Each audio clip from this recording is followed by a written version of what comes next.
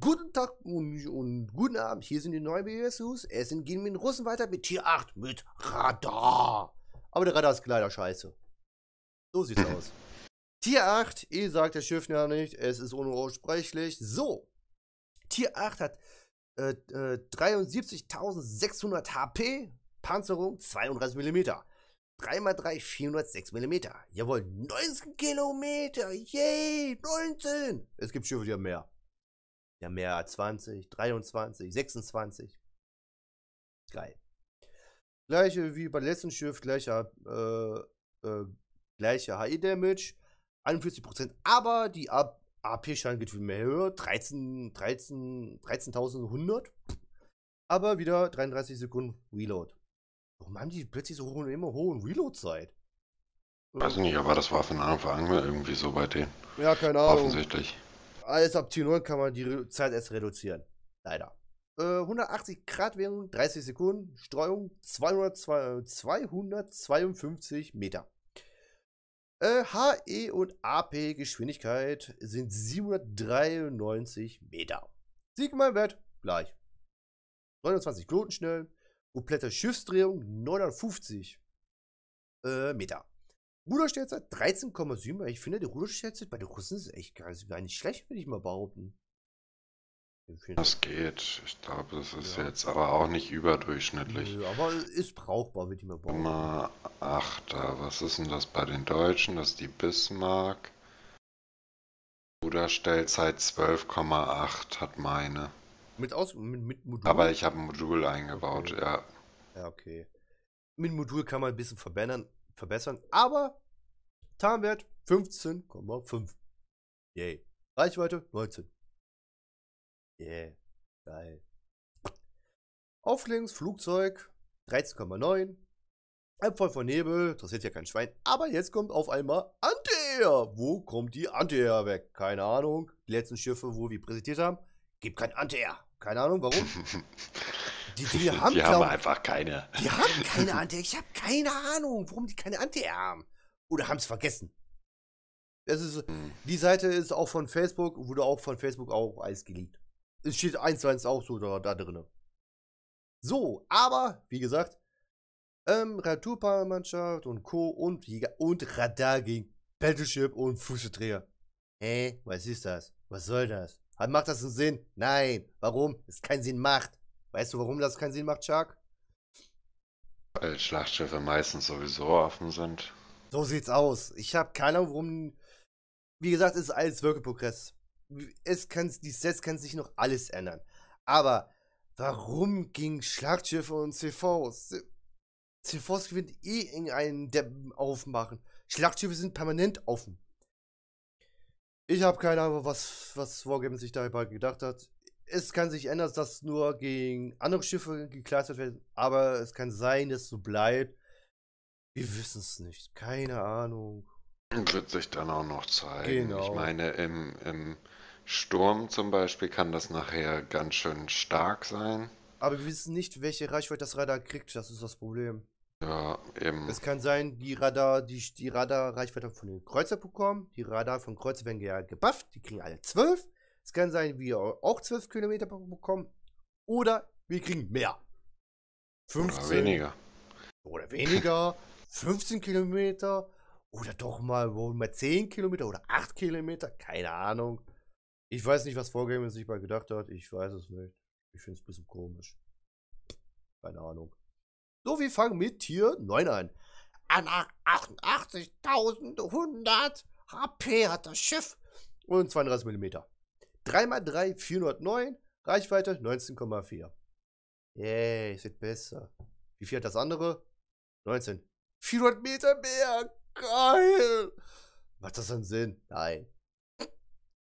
Bin ich so leicht, leicht sarkastisch? Oder also mal so leicht äh, wie ein Sarkastisch. Ja, danke. Ähm, ja, irgendwelche Nachteile müssen die ja haben. Ich meine, ja, die haben ja, den höchsten Lebenspool, ne? Ja, aber wie wir schon oft langsam bemerkt haben, die Russen haben mehr AP wie die Deutschen.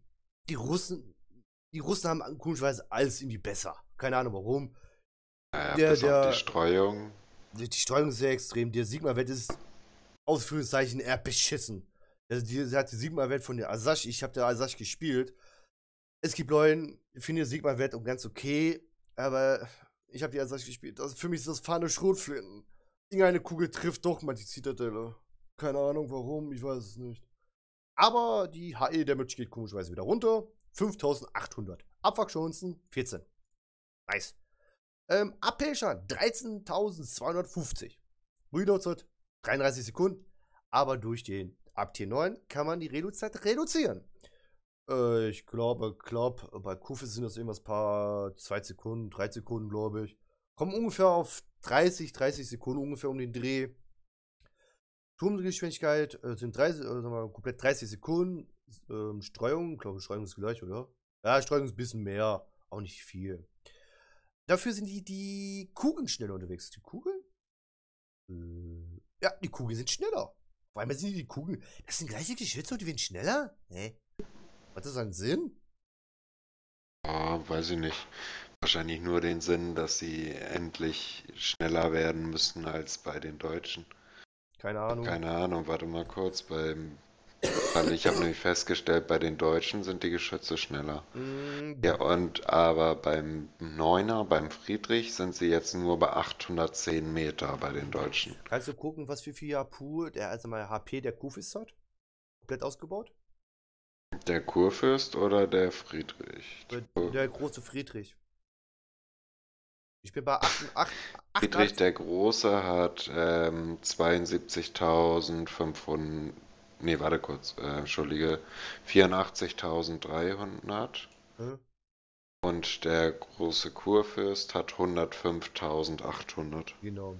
Das heißt, die, die meisten HP, also mal HP, Anführungszeichen, werden jetzt von den Russen jetzt abgelöst. Das heißt, die Russen haben mehr HP. Minimal mehr was macht auch nicht Kohl nicht fett. Die schießen nur irgendwas mit 20, unter 20 Kilometer. Naja. Soll nichts, nichts berauschend sein. Wie ähm, 830 pro Meter für beiden Geschützen sieht man, Wert ist ja gleich. 28 Kluten schnell. Kompletten Schissdrehung 900, 950 Meter. Ruderstellzeit 14,9, also geht schon langsam her, aber Tarnwert 16,7. Das wird langsam höher, der Tarnwert. Gleich Abfall bei Nebel, 16. Und es gibt wieder ähm, Flugabwehr. Nice. Nicht viel, aber etwas. Das das gleiche, Radar, Schlachthilfe, nichts Besonderes mehr. Jetzt kommt der Highlight der Szene. Wie gesagt, der Kufis wird abgelöst für, von den Russen. Äh, 108 HP bei Quetschte, 32, 32 mm Panzerung. Jetzt kriegt er das Ding Geschütze von der äh, Conqueror. Yay. Aber 48% Abwrackchancen. Yay. Wahrscheinlich eine HE-Schiff, was das für ein Teil ist. Keine Ach, Ahnung. das glaube ich nicht, weil die, die werden die nicht auf ein Viertel Penetration setzen und damit macht es keinen Sinn, mit dem Ding HE zu schießen. Aber ich, ich nicht bei 6600 Schaden, nee. Lohnt nicht. Hm. So, es gibt Leute, die, die sehen das, ach, Abwärtschancen bei Video 48%, ach, deswegen kann man bestimmt mit HE-Büro ganz gut ballern. Nein, kann man nicht. Das Ding macht 15.500 AP-Schaden. Deswegen ist es bestimmt ein reines AP-Schiff. Aber 34 Sekunden Reload-Zeit. Yeah, warum 34 auf einmal? Hä? Hä? Weil ganz nicht auf, äh, hä, macht das dann Sinn? 33 Sekunden, ein, okay, größtes Kaliber. Ähm, pff, gleiches Sigma-Wert? Keine Ahnung, aber 800 Geschwindigkeit bei den beiden Granaten. 30 Kloten schnell. Was? 1100, 1090 komplette Schiffsdrehung? Was? Okay. Das Ding muss ja übelst groß sein. Hm, wie groß ist der komplette Schiffsdrehung? Also einmal Schiffsdrehung, wie groß ist da Ruderstellzeit? Ähm, bei wem? Große Kurfürst. Ich bin bei, äh, bei, bei 1000, äh, 1100. Das, ähm, du kannst ja meinen, also im Wendekreis ist bei mir 1050. Beim Kurfürsten. Oh. Und Ruderstellzeit ist bei mir abnormal hoch mit 19,4. Okay, das ist, dann ist der Russen besser. Äh, äh, 16,3. Boah, die, fast, das Ding muss ja fast so groß sein wie der Kufis sein. Ich habe Wenn nicht sogar größer, vielleicht ist der HP-Pool deshalb auch größer. Ja, deswegen, Alter. Das, wird, das Ding wird ja abgelöst. Okay, es wird ja abgelöst mit, von den HP, ja. Das Ding muss ja übelst groß sein. Weiß man nicht. Aber sonst Tarnwert 17, boah, 17 Kilometer. Boah. Aber nur 20, genau gleiche Reichweite Kuhfürst. Das ist schon etwas ekelhaft. Hm. Flugabwehr hat ein bisschen. Ich denke mal, die 130 mm ist die Secondary. Das Ding hat, ich weiß nicht. Ich weiß, ich weiß eigentlich nicht, wie man die Russen spielt. Komplett auf Flugabwehr. Das Ding hat ein bisschen Flugabwehr, aber nicht, nicht viel. Das kannst du. Ja, ich glaube, auf Flugabwehr spielst du die nicht. Nee, die spielst du halt auf. Überleben, denke ich mal. Ich denke mal wirklich auf Überleben. Aber ich meine, leider ist das ja inzwischen sowieso so, wer spielt nicht. Die, die werden doch fast alle auf Überleben gespielt. Ist ja fast egal, welches Schiff. Nicht. Deswegen. Aber Jetzt kommt der Highlight. Der Tier 8 Schiff. Und jetzt kommt das Premium-Schiff. Premium-Schiff, Tier 8. Ich spreche den Namen nicht aus, weil ich den Namen nicht aussprechen kann. Ich will so, so das ist die Lenin. Ja, aber allgemein nicht. Ich habe die meisten Namen die sind fast unmöglich auszusprechen immer. Der 8er sieht aus, wie sieht er aus? Genau, Nelson. 1 zu 1 Kopie von den Nelson, willst du auch sagen, oder? Ja, von der Optik her auf alle Fälle, ne? Ich weiß nicht, ob das jetzt vom allem her wirklich eine Kopie ist. Ja, sieht für mich so aus, eins zu eins wie die Nels. Ein bisschen anders, aber sieht so, ist, ist ein Klon. Wie gesagt, nicht direkt und nicht so vergleichen, Klon, aber sieht nach einem Klon aus.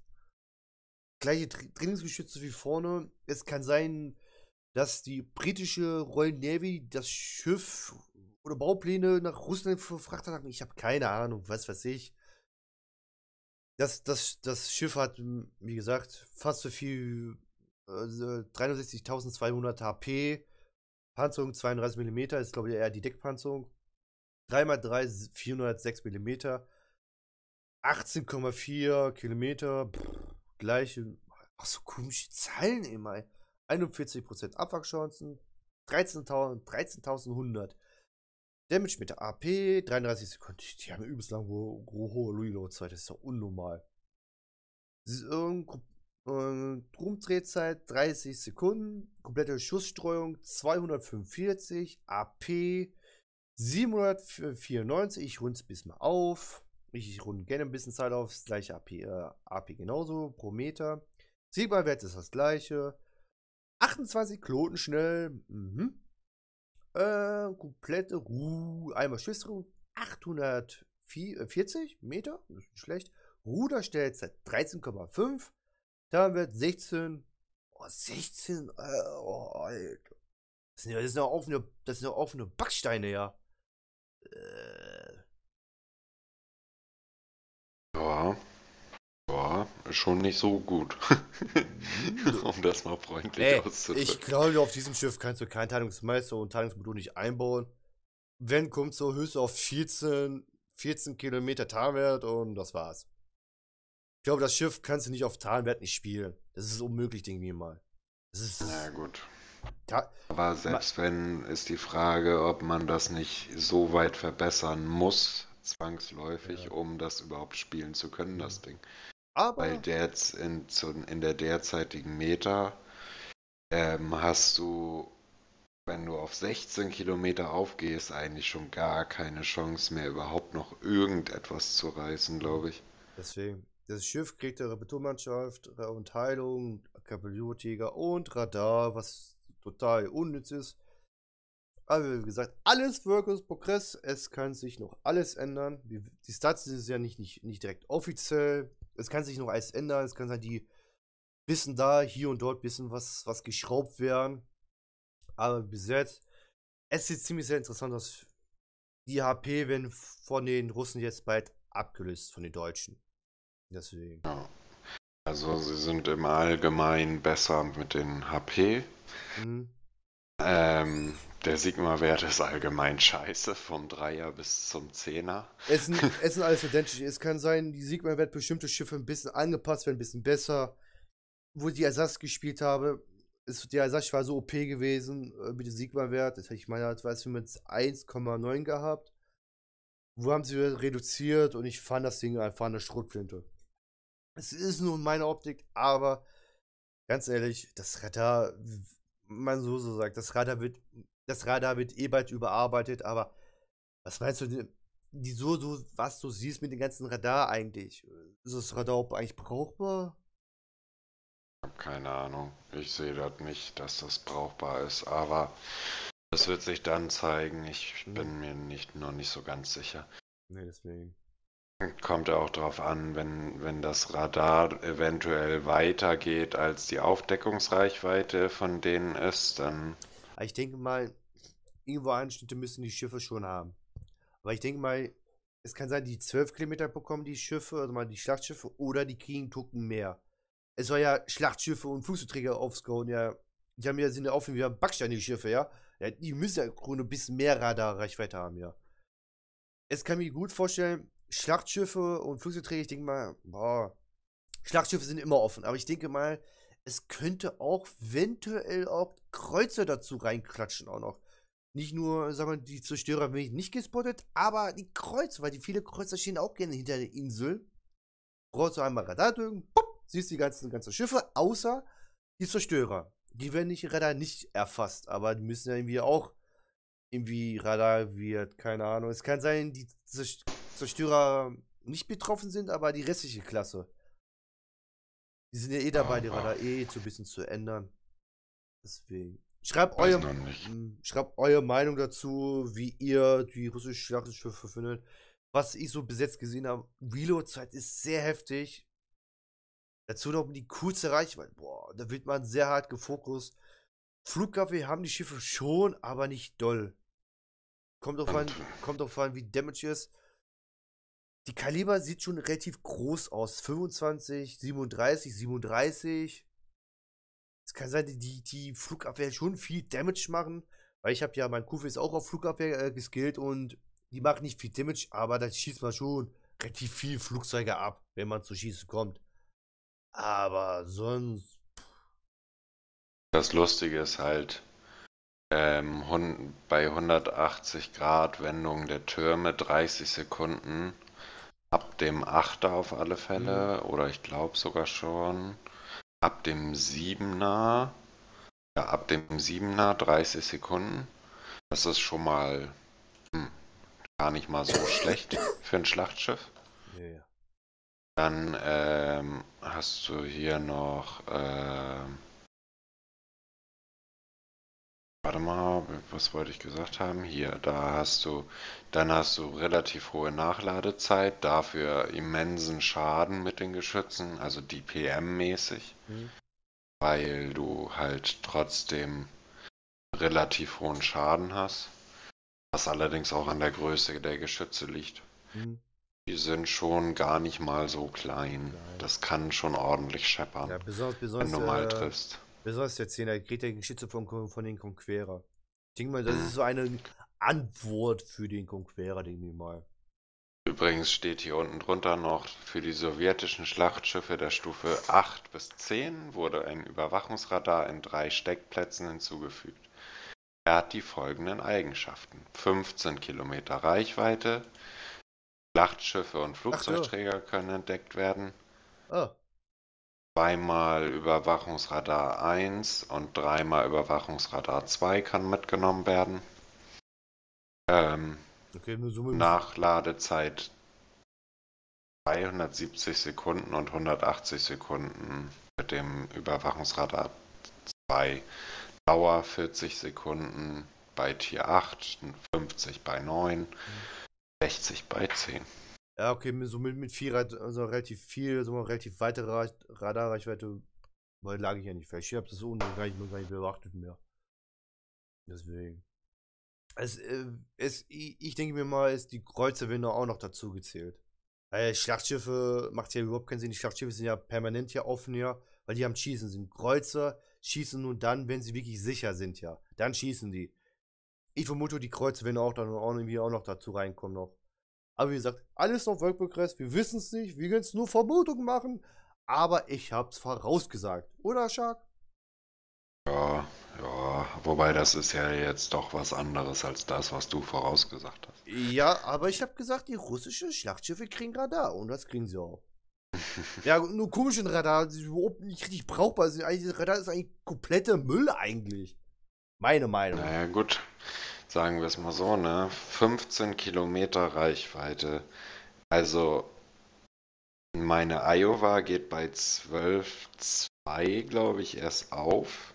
Hm, und bei dem Motina ist 13,2. So, und dann musst du dir überlegen, ob du jetzt jemanden, du kannst jemanden radaren, der eigentlich bei 12,2 erst aufgeht.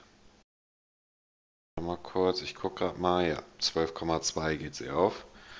Und das ist schon übel, wenn du da gerade abdrehst, weil du dir denkst, ja, ich bin ja noch 13 Kilometer weit weg. Und auf einmal kriegst du ein Radar um die Ohren gepfeffert. Ja. Das ist schon nicht so geil. Ja, klar. Ja. Hm, aber ich, ich denke mal, die, Russ äh, die, die Kreuzer werden immer auch noch dazu berechnet, weil die, die potenziellen Schaden kriegst du von Kreuzer. Die Schlachtschiffe sind nebenbei, aber muss so sehen, wenn alle Kreuzer auf einen Punkt schießen, dann bist du auch weg. Das, ich denke mal, die Kreu ist nur meine Vermutung, die Kreuze könnten eventuell auch dazu jemanden dazu gesellen. Zerstörer nicht. Ich denke mal, für Zerstörer wäre es viel zu heftig. Siehst du einen bis A, ich bin auf und klickst, bam, Radar, und dein Team sieht das an und die rotzen gleich auf den Zerstörer drauf. Das wäre ein bisschen doch ein bisschen zu stark. Wird sich zeigen. Ja, wie gesagt, es war jetzt Es kann möglich sein, die Kreuzer dazu gerechnet werden oder nicht. Das ist alles Wargaming, Gedankenspiel. Aber ich, ich vermute, weil sie schon äh, angepriesen haben, eh, ich vermute mal, Ende Sommer, so ungefähr Ende des Jahres, kommen die wahrscheinlich die russischen Schiffe. So un ungefähr um den Sommer, um den Dreh, denke mal, wenn die kommen. Angepriesen sind sie sind ja schon, ich denke mal so, Gamescom oder nach die Gamescom, weil die letzten Mal sollten die, die äh, Kreuzer, also allgemein den Baum von den Kreuzer bei den äh, Amerikanern, äh, haben wir auch Vermutungen, äh, sagen wir auch ein bisschen gedacht, die kommen in die Gamescom, aber die kommen erst nach die Gamescom. Keine Ahnung warum, es kann sein, die russische Schiffe nach den Gamescom oder mit den Gamescom kommen, weiß man nicht. Aber. Oder vielleicht schon mit dem nächsten Patch, wer weiß das schon. Ja, muss so sehen. also nicht, nicht mit 0.8, sondern mit dem danach. Meinst, meinst du 9.0 oder 10. Keine Ahnung, wird sich zeigen. Ich denke mal, zwei Patches. Die haben in letzter Zeit so komische Sachen, Entscheidungen getroffen manchmal. Deswegen. Echt merkwürdig. Ja. Der CV, CV wie wir kommen, kommt auch bald durch. Äh, die die UK-Fußträger haben es auch schon angekündigt.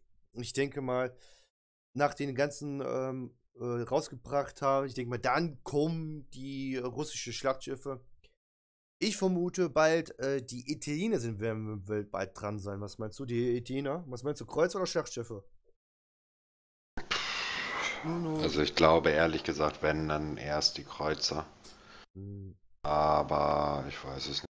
Wird sich zeigen, ich bin mir auch nicht ganz sicher, ob wirklich die Italiener die nächsten sind oder ja, sind ob sie jetzt erstmal die Flugzeug... Ich glaube fast, sie werden erstmal versuchen, die Flugzeugträger zu balancen, dann kommt wohl erstmal noch ein bisschen was an Flugzeugträgern dazu. Ja. Aber kein fester Baum erstmal und dann mal sehen. Ich, sag mal, ich vermute, ich gebe auch Vermutung, ich denke mal, Ende ungefähr Ende des Jahres, denke ich mir, kommen immer noch die italienische Kreuze, weil Etina, die haben nur, nur drei Premium-Schiffe und da ist bis jetzt noch gar nichts. Ich denke mal, da kommen da Zerstörer, weil die haben schon ein Zerstörer-Premium-Schiff auch schon angekündigt. Ich vermute, es können sein, die Zerstörer kommen bei der Etina oder die Kreuze erst. Meistens war so, die, die Zerstörer waren die mehr, meistens eher dran. Aber weiß man, ich denke ich denk mal ungefähr Ende des Jahres kommen die Etina. Ist nur eine Vermutung. Aber ich sehe schon langsam, das Video wird zu, zu lang. Schreibt eure Meinung zu, zu den netten, coolen Gimmick, was die Russen haben, mit dem geilen Reload und mit dem geilen HP und den geilen Radar. Yay, Radar, wow, will keine Mensch haben will. Haut rein, bis nächstes Mal. Tschüss. Tschüss.